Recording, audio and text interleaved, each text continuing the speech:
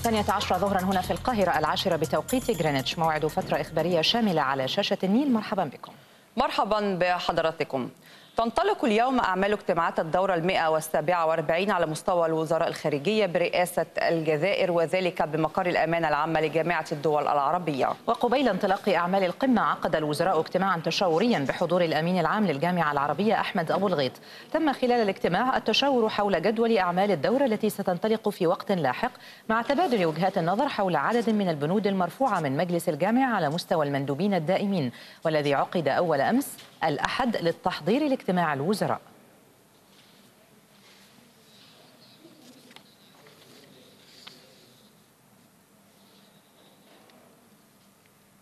هذا وللمزيد من المتابعة معنا بمقر من مقر جامعة الدول العربية مراسل النيل منذر أبو دوح منذر هل يمكن أن تطلعنا على تفاصيل الاجتماع التشاوري وأجندة العمل داخل الجامعة العربية قبيل انعقاد القمة العربية القادمة؟ تحياتي اليكم وتحياتي إليكم أعزائي المشاهدين. شكراً. بالفعل كان هناك جلسة مغلقة من قبل وزراء الخارجية العرب آه، تم التشاور فيها حول البنود الأساسية المطروحة على أجندة وزراء الخارجية العرب قبل الاجتماع الذي الاجتماع المفتوح أو المؤتمر المفتوح الذي سيعقد بعد دقائق تقريبا. آه، هناك مناقشات حول العديد من القضايا العربية وخاصة ملف النزاعات التي تحدث في بعض الدول العربية وسواء القضية السورية أو القضية اليمنية أو الليبية أو ما يحدث في العراق. وكذلك التأكيد على محورية القضية الفلسطينية وأنها القضية الأولى للعرب جميعا وأنها ستظل آه، هي القضية الأولى إلى أن يتم الانتهاء بال- بالإحتلال الإسرائيلي على الأراضي الفلسطينية. وكذلك رفع هذه البنود إلى القمة المرتقبة التي ستعقد خلال أسبوعين تقريبا في العاصمة الأردنية عمان. آه، هناك شبه تشاور آه، يتم الآن في الجلسات المغلقة. والمؤتمر الذي سنتابعه الآن بعد دقائق سيتم التحدث فيها عن هذه البنود التي سيتم رفعها إلى القمة المرتقبة. نعم. سنتابع معك هذا المؤتمر الصحفي من مقر جامعة الدول العربية مراسل النيل. منذر أبو دوح شكرا جزيلا لك.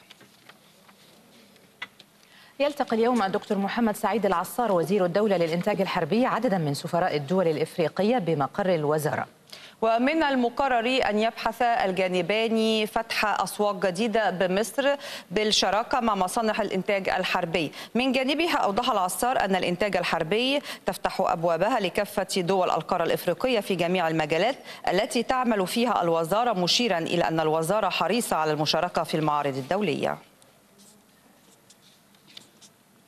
التقى الفريق أول صدقي صبحي القائد العام للقوات المسلحة وزير الدفاع والإنتاج الحربي ليونيد زايتس وزير الزراعة والأغذية في بيلاروسيا والوفد المرافق له الذي يزور مصر حاليا. تداول اللقاء بحث عدد من الملفات والموضوعات ذات الاهتمام المشترك في ضوء دعم العلاقات التي تجمع البلدين الصديقين.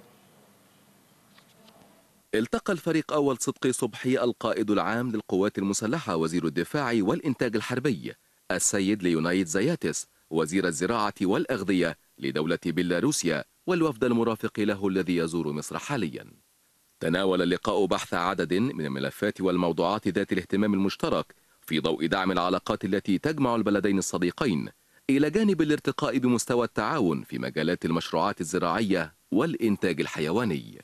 وأكد القائد العام على عمق الروابط والعلاقات بين مصر وبيلاروسيا وتوافق الرؤى تجاه العديد من القضايا والموضوعات مشيرا إلى انعكاس ذلك على تحقيق المصالح المشتركة لكلا البلدين. وأشار إلى اعتزاز مصر حكومة وشعبا بمدى ما وصلت إليه العلاقات بين مصر وبيلاروسيا في العديد من المجالات.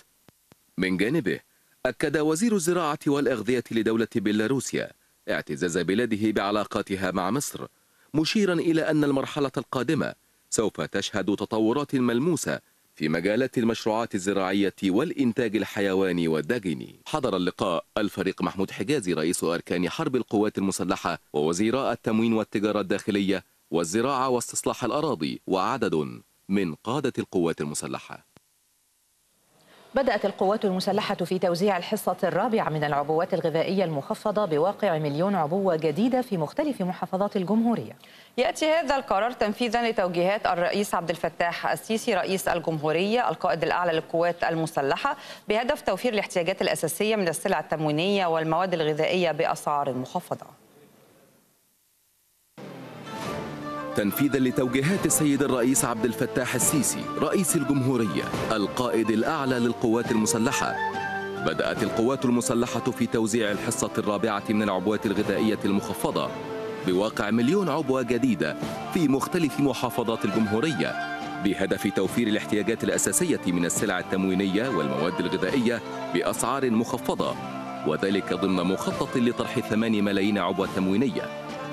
وطبقا لأوامر القيادة العامة للقوات المسلحة تم التنسيق بين الجيوش الميدانية والمناطق العسكرية والأجهزة التنفيذية بالمحافظات التي تدخل في نطاق مسؤولياتها. لتنظيم وتحديد نقاط التوزيع الثابتة والمتحركة وتسيير أسطول من السيارات المجهزة للمناطق الأكثر احتياجاً خاصة في المناطق النائية ووصول العبوات إلى أكبر قدر من المستحقين على مستوى الجمهورية. وقد أشاد بذلك العديد من المواطنين. طبعا إحنا بالنسبة للكرتونة دي بتوفر لنا توفير جامد. ما هي كرتونة بتعدي ال 50 جنيه أنا باخدها ب 25 جنيه. ده من من سيد رئيس الجمهوريه ربنا يبارك له يعني وربنا يخليه لنا ويحفظه لنا ويحافظ لنا على البلد. الحمد لله رب العالمين يعني. فطبعا النهارده إذا الزيت مثلا باخدها النهارده الكرتونة باخدها ب 25 هتوفر معايا النهارده 65 جنيه. طبعا القوات المسلحة طبعا هي اللي بتشرف عليها. فطبعا تلاقي حاجة نظيفة وحاجة جميلة. والوزن. طبعا حاجة حلوة. دي بره ولا 70 جنيه. وهنا دلوقتي في الجيش ب 25 جنيه. يعني كتر خير الدولة وكتر خير الجيش. مبسوطة عشان غلابة إحنا غلابة بت- بتفك كربنا دي.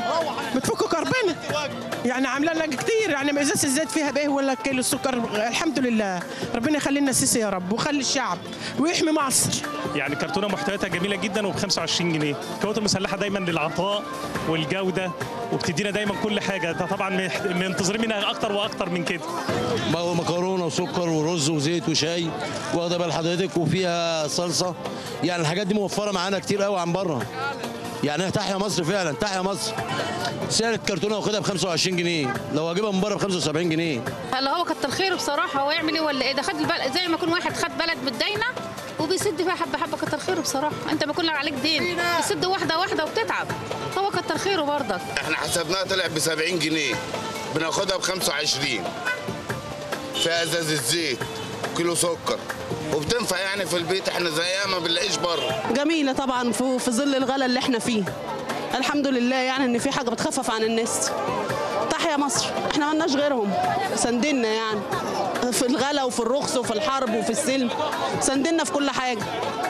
الحمد لله على وجودهم. حاجة موفرة وسلع كويسة. أنا جربتها قبل كده. حاجة آخر جودة. مفيش بعد كده. تحيا مصر طبعا. إحنا لنا غيرها. كما شهدت نقاط التوزيع إقبالا لافتا من الجماهير لشراء العبوات التي يتم طرحها بنصف ثمن التكلفة. وذلك في إطار الجهود المبذولة من قبل الدولة ومؤسساتها المختلفة للمعاونة في تخفيف العبء عن كاهل أبناء الشعب المصري.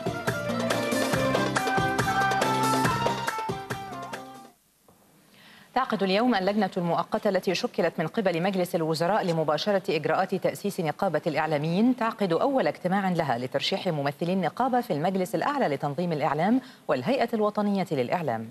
ومن جانبه أكد رئيس نقابة الإعلاميين حمدي الكنيسي أن اللجنة تناقش تشكيل اللجان المختلفة للنقابة وبلورة ميثاق الشرف الإعلامي مشيرا إلى أن اللجنة ستعقد أول اجتماع لها بمبنى ماسبيرو لحين تحديد مقر للنقابة.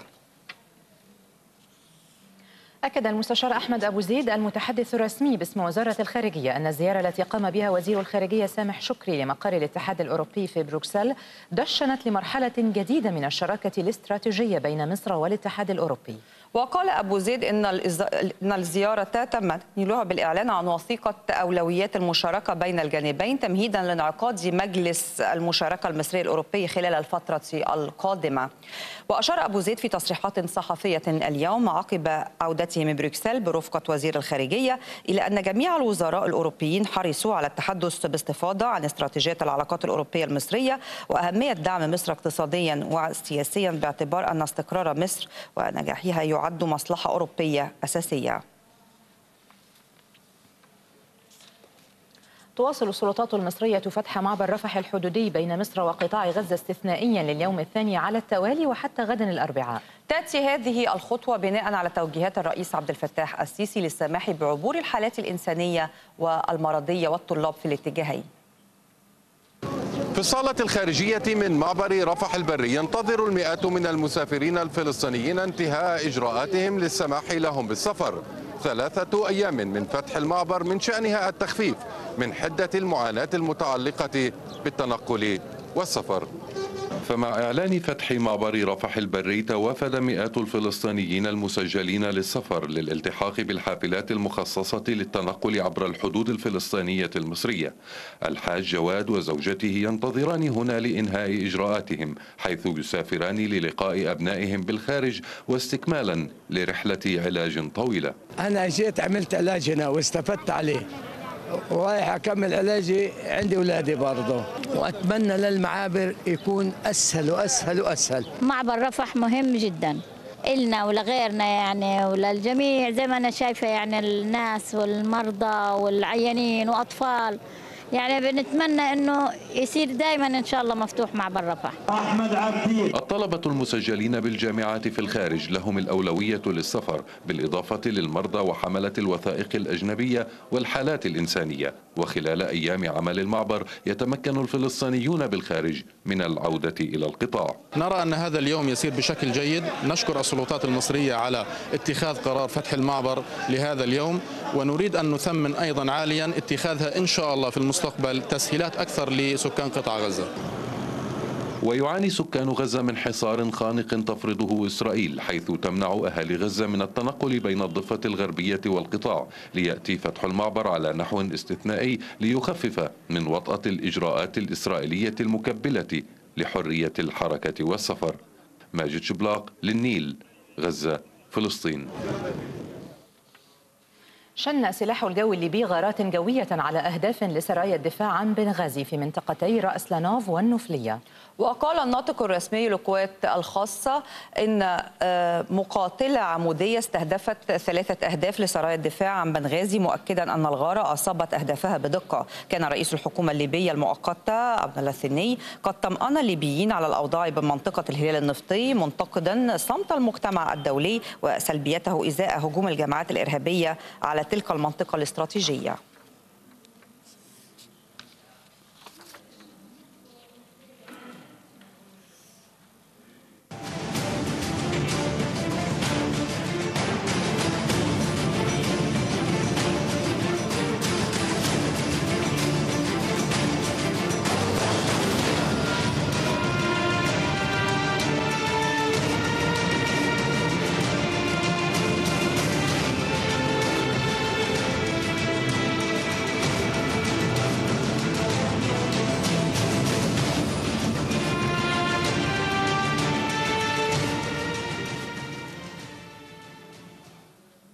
وصل رئيس الوزراء العراقي حيدر العبادي إلى مدينة الموصل في زيارة ميدانية لتفقد القوات المشاركة في العمليات العسكرية ضد داعش.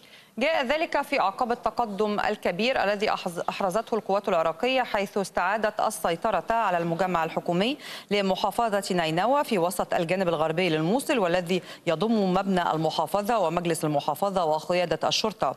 كما تمكنت القوات العراقية من استعادة الفرع الرئيسي للبنك المركزي بالمدينة بالإضافة إلى مبنى محكمة العدل الرئيسية لداعش وذلك خلال عملية عسكرية أسفرت عن مقتل العشرات من مسلحي التنظيم الإرهابي.